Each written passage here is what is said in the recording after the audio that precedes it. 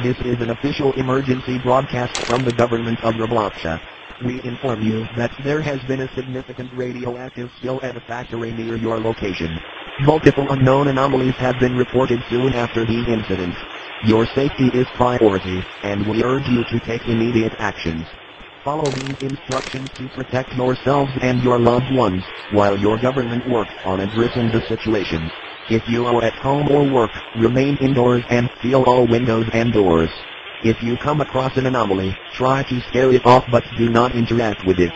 If the anomaly finds way into your house, do not fight it. Hiding is the only option.